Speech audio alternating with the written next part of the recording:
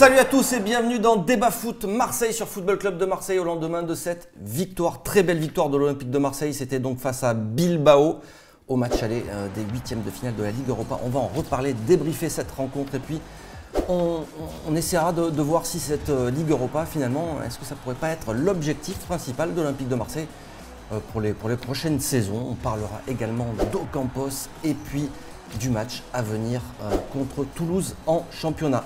Voilà pour le programme. J'ai le plaisir d'accueillir Christopher Albano. Merci d'être avec nous. C'est un plaisir pour moi. Merci de m'avoir invité. C'est très sympa d'être venu. Je te présente à tes côtés le jeune Nicolas Fiol. Jeune. Ça fait un peu école des fans là, ton intro là. Le- Il est là avec nous Maman, si tu regardes l'émission. Comment tu t'appelles Nicolas? Ben Nicolas. Et avec nous également le grand, le monsieur Hervé Berkane. Putain, Il va me demander des sous là, c'est pas possible. Bonjour à tous. C'est un plaisir de t'avoir encore. avec Merci, c'est gentil, c'est gentil. Toujours, c'est toujours sympa de venir chez vous. C'est On vrai rigole bien là. Tu t'amuses? Ouais, toujours. Est-ce que tu t'es amusé hier soir au Vélodrome Alors écoute, pour moi, oui. parce Alors que- n'en dis pas plus. Ah, c'est non. bon, voilà, voilà, on a teasé. tout ce que je Oui, voulais savoir. voilà. L'émission s'arrête ici. Merci messieurs. Allez, On se retrouve la semaine prochaine. Non, allez, on passe directement euh, au débrief du match euh, OM Bilbao. C'est maintenant.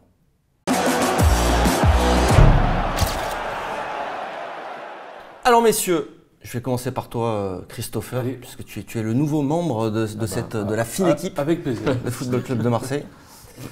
Est-ce que tu as été séduit par la prestation de, de l'Olympique de Marseille hier soir? Ah, déjà, il un- fallait pas arriver en retard. Ouais. 47 secondes. On, on attendait. euh, moi, j'attendais voir un petit peu ce qu'avait donné Lopez. Et, euh, et au final, Rudy Garcia a quand même eu le- du- une bonne idée de le remettre au milieu de terrain à la place Mhm. d'Anguissa. Et on a vu ce- ce- cette belle combinaison entre Lopez et, et. Encore un Thauvin euh, magnifique euh, au, au milieu. Et puis ce, ce premier but in- incroyable. euh, au bout de 47 secondes, Ocampos qui voulait aussi prouver qu'il était de retour. Exact. On a, vu, on a vu un beau match. Voilà. On a eu juste un petit peu, de, un petit peu peur quand même en, en fin de première période avec ce, ce pénalty qui n'était pas mérité. On a douté. On s'est dit, bon, à 2-1, Bilbao peut revenir à 2-2. Et là, c'est plus le même match. Et puis finalement, on a mis le troisième. On aurait pu en mettre un quatrième. On s'est facilité la tâche, même si le retour sera compliqué avec ce but marqué là, Exact, exact. par, par les Espagnols. Hervé, tu été séduite aussi par, par les Marseillais qui sortaient bon, de, d'une courte période de, de doute, on va dire. Il y avait eu ces trois défaites, euh, ce match nul, et puis euh, dans le jeu, c'était un petit peu plus compliqué. Là, euh, on a vu un, un bon, un bon Olympique de Marseille. Quoi. Ah, là, c'est, euh, pour moi, c'est euh, un des trois meilleurs matchs de l'OM cette année. Le rythme a été excellent. Et puis j'ai adoré ce but, euh, un peu éjaculation précoce. C'est-à-dire que tu n'étais même pas installé que déjà, hop.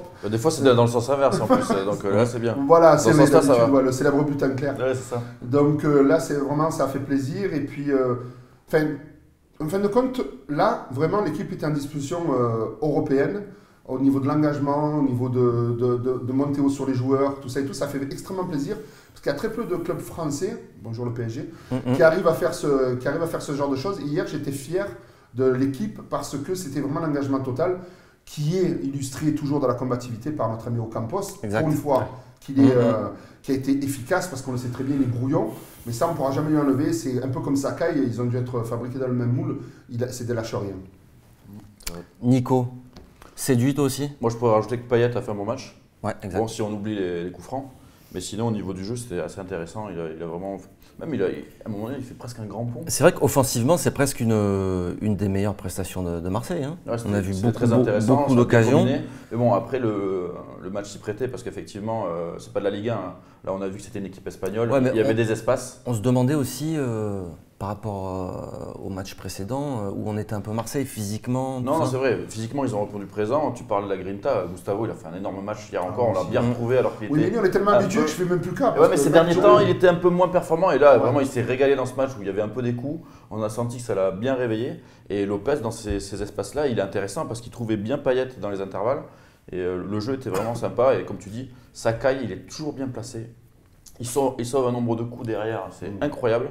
Il, est- il est- par contre, il est beaucoup plus sobre qu'Ocampos parce qu'il est beaucoup plus dans la maîtrise. je trouve. Ouais, tout à fait. Donc c'est vraiment un joueur intéressant. Alors, euh, on n'a pas fait de, de décrassage ce matin, du coup, euh, c'est un peu des rubriques traditionnelles ici. On, on doit élire l'homme du match et la merguez du match. Ouais. On est obligé de faire ça. C'est dans le programme. Quel est ton homme du match, toi Pour sur moi, un- du match, c'est Ocampos. Il met, un, il met un doublé, il est à ça d'en mettre un troisième si c'est Mm, sauvé à, à 20, C'est cm vrai. de sa ligne. Donc il aurait pu mettre un triplé, il n'a rien lâché. Et pour moi, la merguez, mais c'est pas, pas vraiment une merguez parce qu'il est toujours très bon, c'est Rami. Voilà, Rami qui n'a pas été bon hier, euh, qui provoque malgré lui. Il fait penalty. quelques petites relances Euh, euh, quelques hasardeuses. hasardeuses, et Mm, il mm. provoque ce penalty qui, pour lui, pour moi, n'est- pas fautif. Ouais, voilà. Après, on peut Il, pas non plus. voilà, il le redit bien derrière avec Adouri, il se regarde, j'ai Mm. dit, voilà, il Ouais. tu verras la vidéo, Mm. j'ai collé le bras. Mais malgré lui, il provoque ce péno qui sème un peu le doute. Donc euh, top pour moi au Campos et, et, et Merguez euh, Rami. Merguez Rami. Euh, c'est assez rare cette, cette saison. hein. Non, c'est vrai, mais c'est vrai que depuis deux matchs, moi je pense que le problème c'est que Rami il veut jouer tous les matchs, tout le temps, il veut tout le temps jouer. Je pense que là il aura peut-être besoin un peu se reposer. Mm, mm. Donc C'est vrai qu'il est un peu moins performant. euh, euh, ouais, j'hésite entre Rami et Germain qui a eu des difficultés. Il a raté ses, ses deux belles occasions. Et après il a un peu disparu, ça a été un peu un match compliqué pour lui. Donc j'hésiterai entre les deux pour la merguez. Après, ouais, euh, moi je mettrais peut-être Payet tiens, en, en homme du match. Payet, homme du match. Ça, ça aussi, c'est rare cette saison. Et oui. C'est rare qu'on le cite parmi les. Alors, moi, les tops. C'est ça, tout à fait. Moi, j'étais dur avec Payet. Je pense qu'il le méritait euh, cette année. Mm. Je pense que là, on va dire, euh, ça a été l'homme du match pour plein de raisons différentes. À part ce, ce gros point noir des coups francs, Mm. qu'un jour il va falloir qu'il baisse la mire parce que ces ballons en cloche euh, sur les coups francs, ça mène à rien, ça fait que flamber les défenseurs adverses. Mais euh, il a eu de l'envie, il a eu de la vista, il a eu euh, le coup de main, Mm. cette double accélération qu'il n'avait plus. Euh, Le il de a- patte. Hein Il a fait des passes, coups il a de fait patte, des hein. passes, il a fait jouer les autres, il a, Mm. il a su, voilà, il a su utiliser le moment où il fallait faire la passe et le moment où il fallait jouer tout seul. Super ballon pour NG, là où il passe deux joueurs dans ce Voilà. voilà. Magnifique, NG Voilà. derrière le, le coche, mais Tout à fait. Et Et de toute façon. voilà, donc moi je dis euh, bravo, espérons qu'il nous finisse en trombe toute cette saison. Ça, ça les- il nous doit ça. Il Mm. doit ça au peuple marseillais, il se le doit lui-même déjà, je pense. Il faut absolument qu'il finisse en trombe parce que s'il finit en trombe, là par contre, la seconde place, elle sera assurée. Et puis j'espère qu'il est motivé, là, cette Coupe du Monde. Il faut qu'il arrive La là. il seconde, part de euh, loin, la troisième. la. Et après, euh, la merguez. Alors la merguez, euh, peut-être c'est un mot fort parce que tout le monde avait l'état d'esprit, même pour moi. Ouais, cette ouais. fois-ci, euh, tu vois, il y en a des fois. l'arbitre. Ben, ben, écoute, oui, parce que vous avez dit Rami euh, Germain pour les raisons, vous avez, vous avez raison, c'est vrai que. Mais euh, c'est vrai que l'arbitre là, mais c'est pas l'arbitre du centre à la Non, rigueur. c'est- c'est celui qui a Non, derrière mais on n'a pas le droit. En fait, il- c'est c'est très. Comment on n'a pas le droit Eh non, eh non. C'est la merguez Ah. olympienne. Ah, d'accord. Ah, putain, dommage. On peut pas changer les règles. Mais Sinon, c'est alors, sinon, c'est trop facile. Ah, une allez. Dans cette émission, qui n'a pas, été bon- qui a pas été très bon. On n'a pas le droit au joker, on n'a pas le droit de se défausser. Il Ah, faut parler bah la écoute, parole. ben, euh, je mettrai peut-être pas Rami parce que pour le service rendu, je pense que je vais mettre Germain qui, qui a manqué le centième de seconde pour marquer ses deux buts. Et euh, je pense que voilà, dans ces matchs-là, ça, ça serait, ferait plaisir que Mm. lui aussi, il arrive à monter un grade. Ça serait bien. Et rappelons-le que euh, en fin de saison, on offrira une vraie merguez euh, à, à la merguez de, de- de la saison. C'est- prévu. Merguez d'or. On, on a, la merguez d'or, donc on, on a vu ça avec, euh, avec l'Olympique de Marseille, ils sont d'accord, tout à fait. Je leur passe le bonjour. Euh, Tu vas te faire tirer les oreilles. c'est vrai, c'est vrai. Peut-être qu'on coupera ça au montage ou, pas, ou- ou- ou pas. Ça, ouais. c'est bon les merguez, barbecues. Voilà pour l'été. Euh, alors, il y a eu ce fait de match, effectivement, penalty. Est-ce que ça euh, peut avoir une grosse euh, Pour moi, ça peut avoir incidence une grosse incidence derrière. Parce qu'il leur suffit finalement mettre- d'en mettre deux euh, à San Mamès, devant un public chauffé à blanc, dans un stade, on le sait, qui n'est pas forcément facile à, à aller jouer euh, pour l'Olympique de Marseille. Donc 2-0, même si l'OM a quand même de la force offensive derrière. 2-0, c'est simple. Euh, je pense que euh, Bilbao va attaquer euh, tambour partant le match, va essayer d'en marquer un très rapidement. À nous derrière, à l'OM derrière de, de- de verrouiller, mais pas verrouiller comme, euh, comme, on sait, comme Rudy Garcia sait faire après 45 minutes de jeu, on en parlait tout à l'heure avec Hervé. Mais euh, jouer offensif certes, mais quand même essayer de, de, de bloquer un petit peu les, les offensives espagnoles parce qu'un but, ça va leur redonner confiance et on peut très vite arriver au deuxième. quoi. Donc c'est assez compliqué.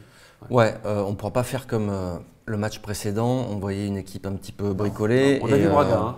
Et ouais, Voilà. ça, ça a été, ça a été chaud euh, à Braga. Euh, Nico, qu'est-ce que t'en penses toi? Tu penses que Moi, ce je pense 3-1, que- on, on peut gérer euh, ou Moi, a- moi, je pense que non, il faut, faudra, faudra être sérieux. Ça, donc, il faudra une équipe quasiment type. Mais en étant sérieux, je vois pas Bilbao gagner 2-0. Je- Déjà, je vois pas l'OM ne pas marquer à Bilbao. Et, euh, et Bilbao, moi, c'est vrai qu'on sent que c'est pas le même Bilbao a- il y a deux Bilbao a eu des opportunités quand même. Ils hein. des Il y a eu une parade de Mandanda, euh, il y a eu de euh, quelques après, petits on a- moments de On flottement. les a sentis quand même maladroits offensivement. Ils Ils sont vont bons être chez eux. pressing. Non, ils vont être chez eux. Mais et défensivement, ils ont montré aussi les, les relances. Le but de Payet, c'est une passe de- d'un basque. Ouais. Après, il n'y aura pas San José, San José et il n'y aura pas Raúl Garcia. Donc Ouais. déjà, il y a deux joueurs clés du, du système qui ne seront pas là. Bon, Par contre, l'OM n'a pas gagné à l'extérieur en, en Ligue Europa. Ils n'ont pas besoin de gagner. Oui, euh, Donc, euh, voilà, tu Hervé, marques toi, but, euh, voilà. Ouais, toi, le euh, 3-1, t'es 2-1 serein. euh. Ce penalty Alors, change euh, absolument rien parce que c'est un. On va le rappeler, c'est un penalty qui est, qui inexistant. Quoi. Donc, euh, comme, dit Christo- comme disait Christopher et Nicolas, c'est vrai que 3-0, on aurait été royal à la voie Ouais. royale. 3-1, euh, ça va être dur, mais comme euh, tu dis aussi, justement, je fais de la répète, mais c'est vrai, je, pense qu'on va marquer un but là-bas. Donc, il va Mhm. falloir qu'ils cavalent, les gars. Euh, et puis, leur public, c'est très bien d'avoir un public chaud, mais des fois, ils te poussent à, à attaquer. Et, il va falloir être bon. Il y aura des espaces. Voilà. Peut-être que NJ aura une utilité dans ce, peut-être au retour. Parce qu'on sait que c'est le seul vraiment joueur, le seul joueur de contre. Et puis comme tout le monde est en train d'avoir de l'efficacité, peut-être ça va être son tour.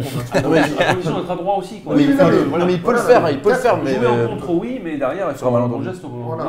Mais il- au Campos, c'était à peu près pareil aussi. Donc là, il y a les révélations. Qui... euh, Imagine, il n'y a que des révélations chaque match. Allez, Il y a enfin la Vierge Marie qui arrive. et on est champion.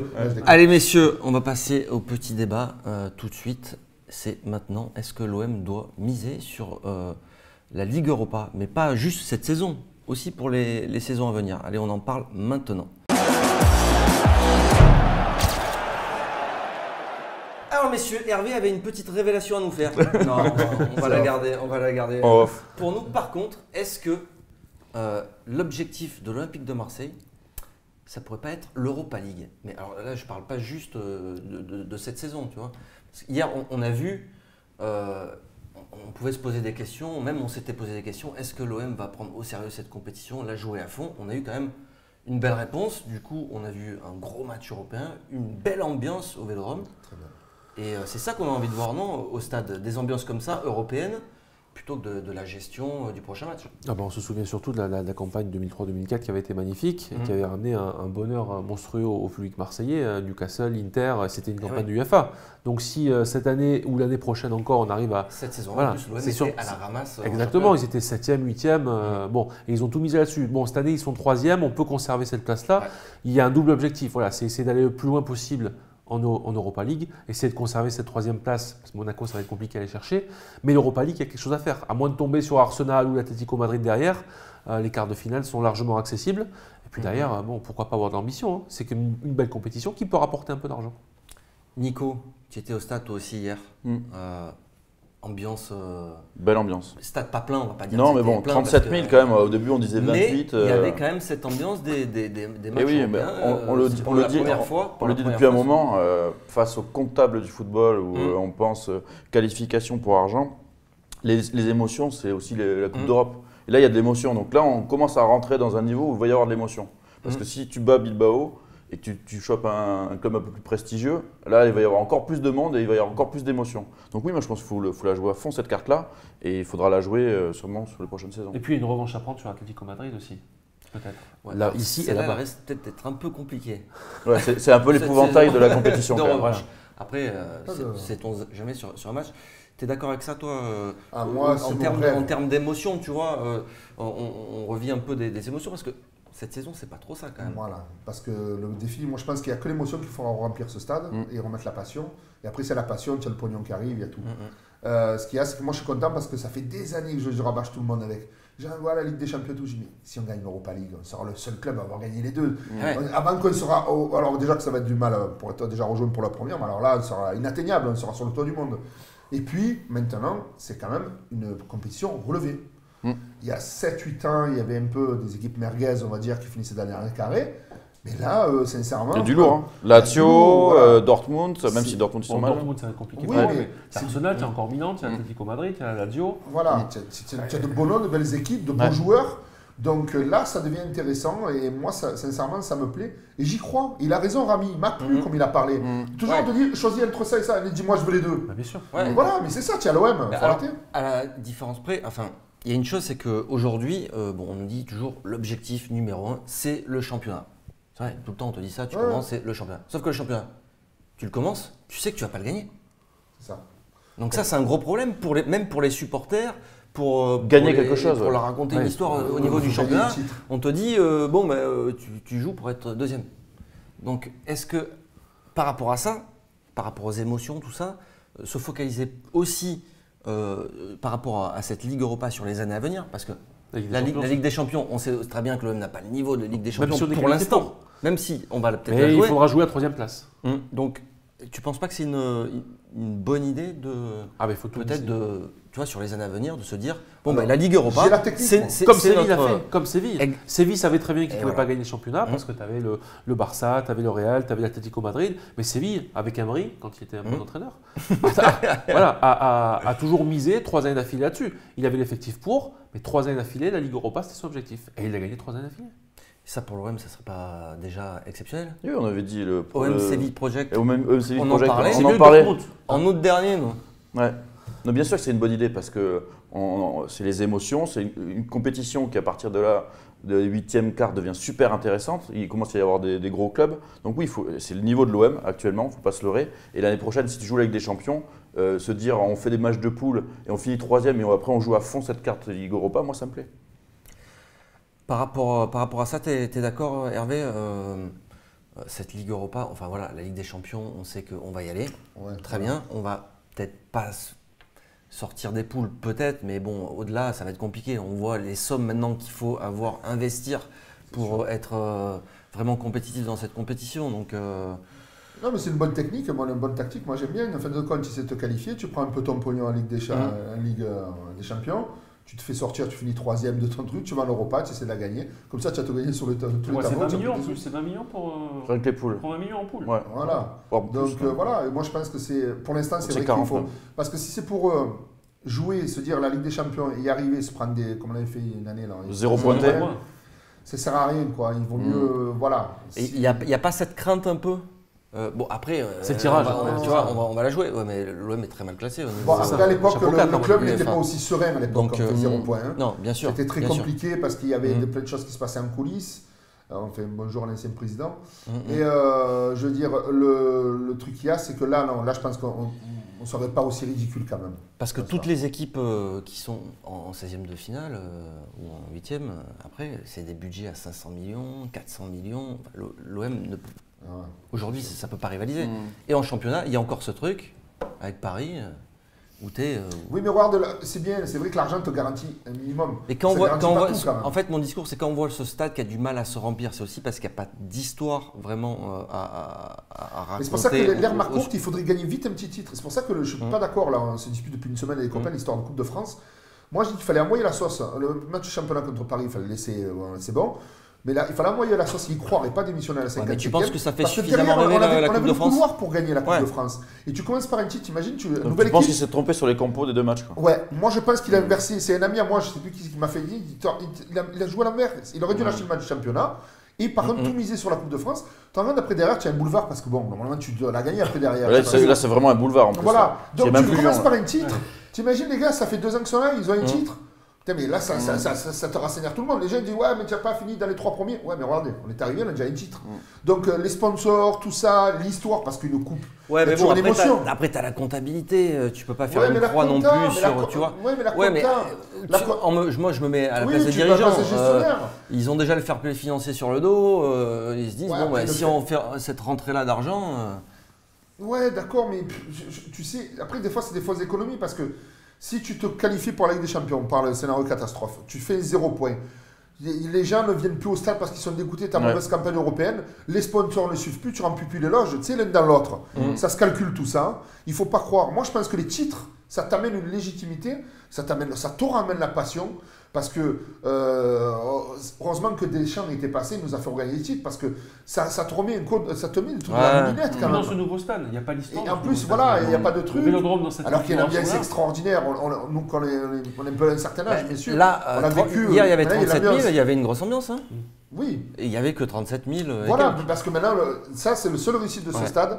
L'architecture fait que maintenant, quand tu Ouais, fais, ça envoie, ouais. Il Voilà. faudrait retrouver cette ambiance de, de, d'OM PSG sous Bielsa, qui est Voilà. magnifique. Ah, quoi. J'ai jamais vu, rarement vu une ambiance. Bah, le, le, le, le OM PSG de cette saison, au niveau ambiance, c'était Était pas mal Sauf pas que mal. À cette époque-là, bon, déjà, il y avait Bielsa qui. Au voilà. football. hein. Mais euh, l'OM a joué le titre. Oui. Aussi. Au début. C'est ça aussi. Ouais, Au début, l'OM a joué le titre euh, jusqu'à très l'effondrement. tard. Donc, euh, on en revient toujours même. Mm. En, en Ligue 1, on peut pas, on peut pas jouer le titre. Mais je sais pas, tu sais, tu prends Alors- l'abonné, tu lui dis, est-ce que si tu finis quatrième et tu vois euh, 80% de, ma- de matchs au stade où tu Mm. vas te régaler, mais tu finis quatrième, et tu lui dis, tu finis encore second, tu vois que des matchs de merde, les, les- gens sont en train Ouais. de changer. Hein. Bob ou Bielsa, moi j'ai choisi. Pour finir sur cette Ligue Europa, Est-ce que l'OM euh, aller au bout cette saison? On a dit il reste Arsenal, il reste encore l'Atlético, c'est peut-être l'équipe la plus forte Ouais, de. Aujourd'hui, oui. Et puis il y a des clubs pièges aussi. Genre les Allemands. Ouais. ça, c'est c'est des, des clubs, euh, des clubs Dortmund compliqués. qui hein. est en Dortmund difficulté. en balotage défavorable quand même face à Salzbourg, Mm. mais bon. Kiev, ils sont allés faire match nul euh, à la Lazio aussi. hein. Attention, ce genre d'équipe. euh, très, très relevé. Saint-Pétersbourg aussi, aussi Mm. qu'aller jouer là-bas c'est compliqué. On Mm. avait perdu, on avait, été C'est encore trop tôt pour, pour Marseille, même la Ligue Europa Mais, mais l'OM peut, peut, peut aller au bout, peut aller, aller en- au moins en finale. Après la gagner, on sait que c'est compliqué face à une grosse équipe. Mm. Mais tout, tout dépendra du tirage aussi. hein. C'est chance ou pas chance quoi, derrière. C'est le tirage au sort malheureusement. Mais en tout cas, ce qui est intéressant, c'est que là, Garcia, il a mis l'équipe type quasiment euh, jeudi. Et ça, ça fait plaisir. Ouais. Parce que là, il, il a montré qu'il a joué à fond cette coupe. Ouais. Et les émotions, elles passent par là. Mm, mm. S'il met encore trop de changements comme il faisait euh, en match de poule, ils ont failli se faire carotter, ça s'est joué à rien. Euh, là aussi, les, les gens, ils n'ont pas envie d'y aller au stade pour voir des équipes bis. Au final, sa gestion elle a plutôt super bien marché. Bah, il s'en est bien sorti, mais ça s'est pas joué à grand chose. C'est- Konya, ça NG, lui a c'est permis ouais, ouais, c'est- de faire un petit que peu le, but de gag d'NG, euh, euh, Oui, balayé. ça s'est joué à pas grand chose, c'est vrai. Mais euh, C'était risqué, c'est passé. c'est passé, donc ça lui donne, ça lui donne raison. et il a il a- pu il a eu conserver raison. beaucoup de joueurs, notamment un, un- un Lopez euh, qu'on a vu encore hier, qui joue quasiment tout le temps euh, Ligue Europa. Et c'est bien pour lui. Ouais, c'est bien pour lui. Euh, je sais plus où j'en étais, du coup, euh, Est-ce Hervé. Est-ce que l'OM peut aller au bout? Oui. Et moi, je veux la gagner. Et voilà. Non, mais on veut tous moi, la je veux la gagner. Je veux marcher sur Arsène Wenger vers Arsenal, j'espère. euh, Parce que lui, je le- il déteste l'OM, je le sais, tout le monde le sait. Monde le. Arsène, si tu nous entends. veux. Ah ouais, je veux- je veux- Qualifie-toi. Ah ouais. qu'on tombe Voilà, on se qualifie nous, tu te qualifies, après Parce moi, qu'ils ça sont me dérange prenables pas, hein, au final. Arsenal, c'est une équipe qui est aujourd'hui prenable. je suis d'accord avec toi, mais il y a l'épouvantail Atletico qui pour moi. C'est- est- c'est la est seule équipe avec- Mais non, il y a notre ami Griezmann, toujours là-bas, c'est ça. Il veut signer à l'OM, il nous lâche le match, et après l'année Il va prochaine, il au signer Barça, attaquant. Franck que- Macron sur le- nous entend 200 millions d'euros, ça, va on, s'arranger. on peut surtout, on peut surtout tomber sur Lyon. Ouais, mais alors ça, pff, Non voilà, bah, si on ne marche pas dessus, alors là, c'est qu'on arrête. Ce serait là. dommage de tomber sur Lyon quand même. Ouais, Voilà. les trucs franco Les jouets, les ouais, en championnat, on- les a là, envie- du coup, On a envie d'autre chose. Tu parles d'émotion, il n'y a pas d'émotion contre c'est Lyon. Quoi. Voilà. C'est vrai, c'est va en- pas. Arsenal, ça serait parfait. Ah. Moi, je pense. Arsenal, ouais, c'est pas mal. La aussi, bon après, bon. Allez messieurs, on va arrêter là-dessus pour l'Europa League et on va parler euh, un petit peu d'Ocampos euh, qui a été euh, décisif hier. Euh, voilà, petit débat sur Ocampos.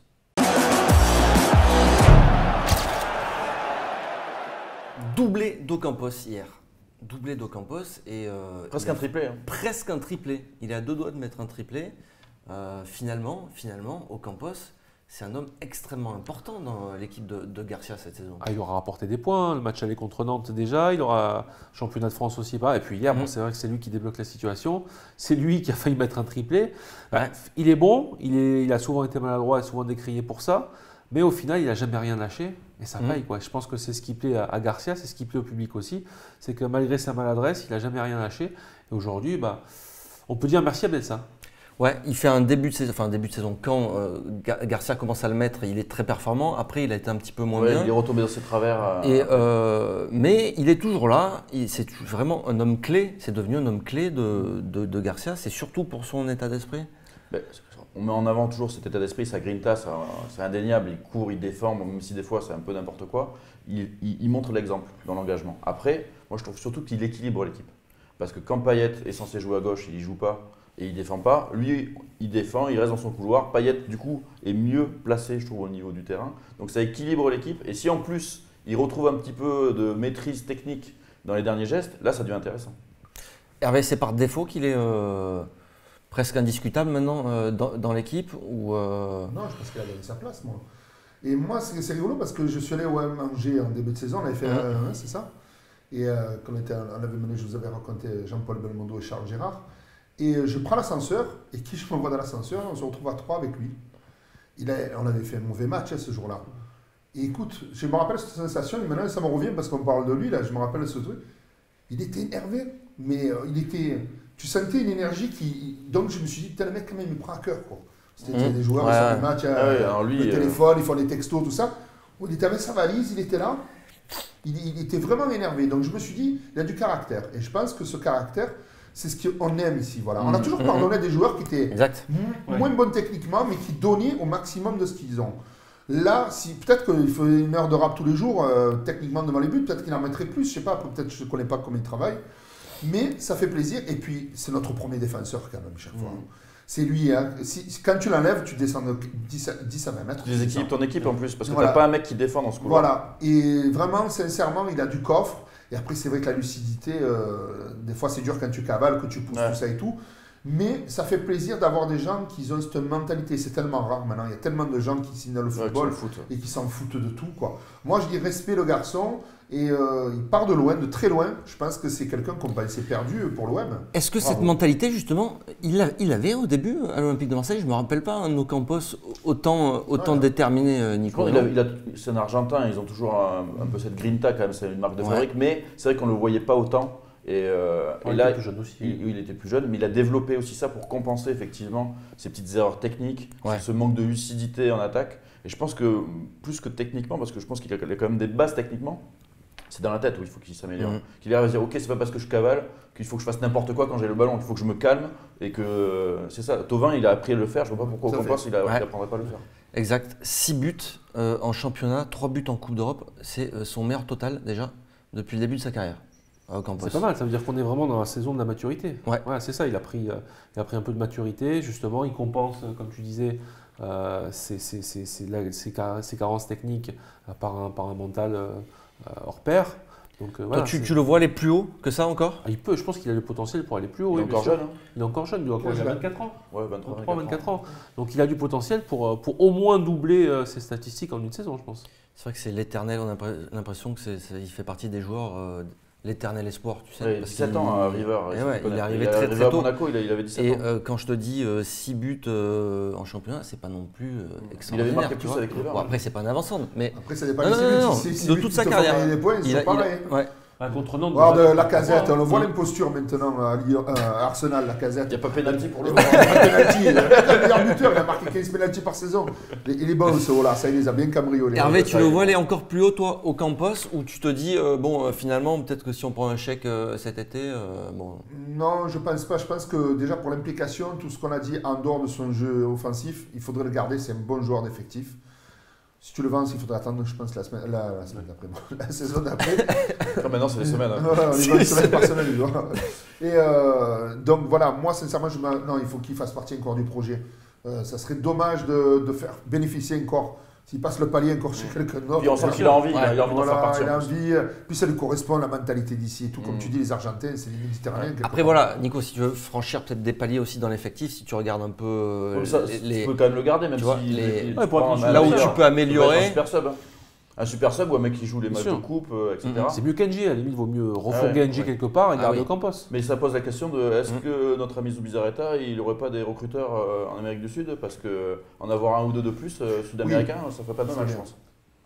Exactement. Est-ce qu'on va en avoir besoin Comme il a fait le- exactement. Exactement. Ça, ça lui- Exactement, Mercato, c'est on, vrai. aurait dit, Ouais. on aurait dit Jimmy Le, Fallon. le mercato, c'est l'odeur du sang. Alors, on va parler tout de suite mercato. Et oui, parce que le mercato a démarré. eh non, non, je plaisante. c'est pas encore. C'est pas encore. Encore un petit peu, on va devoir encore regarder des matchs. Et attendre le mercato, c'est dans. euh, comment on va faire? Allez, on va parler justement euh, du match de Ligue 1. C'est dimanche, euh, déplacement à Toulouse pour l'Olympique de Marseille. Alors messieurs, le plus important, c'est la Ligue 1. Eh oui. Et oui. Retour au championnat, déplacement à Toulouse, 17e de Ligue 1. Et probablement sans Florian Thauvin, parce que Thauvin euh, était légèrement blessé il hier. s'est fait secouer, pas euh. La grosse, grosse blessure. Non. On attend encore, euh, pas encore les infos. sur, Gros hématome euh, peut-être Ouais. Bon. C'est un coup. Pas, coup. a priori, c'est pas, il n'y a rien de cassé. Heureusement, il a sauté. hein. Ouais, c'est un contrat sur lui. C'est quand même un coup dur de aller euh, à Toulouse euh, sans, sans Thauvin. C'est quand même. Ouais, Toulouse, c'est quand même mais 17e, Thauvin, bon, c'est quand même. justement, il y a- y qui y a- marque euh, les trois quarts d'abus de l'Olympique de Marseille. Ouais, mais bon, si tu remets Sanson, si tu as Ocampos qui est en forme, Payet, Germain, on remet, on remet Sanson, à la limite Tovin, c'est bien de, le, c'est bien de, le- de- de lui permettre de récupérer aussi. Peut-être qu'il ne jouera pas non plus le retour contre, contre Bilbao. Il y, a, il y a Lyon qui arrive aussi en championnat derrière. ça. Je pense que Lyon, ça, c'est une rencontre capitale pour la fin de la saison. Toulouse, on peut se dire, allez, bon, même si Toulouse va jouer ce match à fond, parce que s'ils perdent, ils peuvent passer Eh ouais. 19e, ça va être compliqué pour eux. Aller gagner à Toulouse, c'est pas non plus le match le plus compliqué de la saison. Il y a des on peut se passer de Thauvin. à quoi. Toulouse. en. Ouais, vrai. on vient, vient juste de, de le dire, euh, Toulouse va jouer quand même sa peau, donc euh, ils vont pas. euh, Ah bah oui, laisser, ah bah, euh, ils sont en mission commando, hein, sauf qu'ils n'ont plus euh, Duprat hein, pour les pour faire des Ah, discours. c'est- hein. c'est- voilà. C'est Michael Debève. Ouais, c'est pas la même. hein. Il y a moins de charisme, Moins de hein, charisme. bon. T'es confiant toi pour ce dé- déplacement? Parce que mine de rien, mine de rien, faut pas se manquer à Toulouse. Ah, non. Parce que derrière, t'as Lyon. Voilà. Et, euh, Et Lyon, tu il joue Caen et il risque de- de gagner. Avant Lyon, Ouais. si voilà, t'as Lyon qui va jouer Caen, donc il faut pas perdre un joker bêtement à Toulouse. Ah, tout à fait, tu as raison. Il faut pas, déjà, les matchs, il faut les jouer, il ne faut pas se, se pavaner de- avant. Euh, sincèrement, euh, ça va être dur. Je pense que ça va être un match de charcutier et de boucher, moi. Ça va pas être, je pense pas, je m'attends pas à du football spectacle là. Je m'attends à quelque chose de très âpre. Après, je pense que, comme a dit Christopher, pour les joueurs qu'on a, pour remplacer Tauvin et tout, je pense qu'on a le niveau quand même pour faire quelque chose. Ça reste Toulouse. Voilà, ça reste Toulouse. euh, et puis, mais c'est- là, ça- on est en train de casser un truc depuis quelques un ou deux saisons. C'est que tous les, on arrête de relancer tous les toxicos, tu vois ce que je veux Mmh, du, du- championnat. À la marre à un moment donné. Chaque fois, vrai. les mecs, ils Alors, étaient 15e, eh, ils te tapaient. Toi. Regarde Nantes, hein, Nantes, on a failli les relancer. hein, ça faisait, Voilà. il restait Ah ouais. sur 6 matchs sans, Voilà. victoire Nantes, ça quasiment. s'est joué à Oui, rien. oui, Et oui, ça mais s'est joué à rien. Donc, euh, rien. faut arrêter de relancer. Voilà, et ça s'est joué à Tauvin. euh, parce que là, Tauvin, il était extraordinaire pour moi, cette fin de match. Et euh, donc voilà, c'est vrai que Tauvin a une place très importante. Mais je pense que voilà. Mais par contre, je voulais vous demander, euh, Mitroglou, il est où là? Il a repris là, ça y est. Ah, ça y est. il revient. Il revient, il a repris l'entraînement collectif. Là. Derrière- ouais. Imagine que c'est lui qui nous fait gagner les points décisifs. Mais Contre. Moi j'y crois. Moi j'y crois. Trois fois, pourquoi pas Un miracle. T'y crois vraiment Oui, j'y crois. Mitroglou, c'est c'est pas une quiche totale. Il, a raté. Non. Non. Il a raté son arrivée à Marseille. Il était blessé. Il a perdu confiance. Mais ça reste un mec qui a le sens du but. S'il a des bons ballons, je pense qu'il peut te marquer des buts. Avait le sens du but. Oui, il a- mais ça se retrouve. Oui, c'est se comme le vélo, ça. Donc sans Tovin, euh, toi t'es pas t'es pas inquiet Je- plus que ça. d'accord Enfin, avec- pas être inquiet, on va Non, Toulouse, on va pas mais inquiet. ça va être. euh, Déjà, Toulouse. dé- on s'aperçoit aussi pour débloquer les situations, souvent il n'y a que Tovin qui va percuter, repercuter.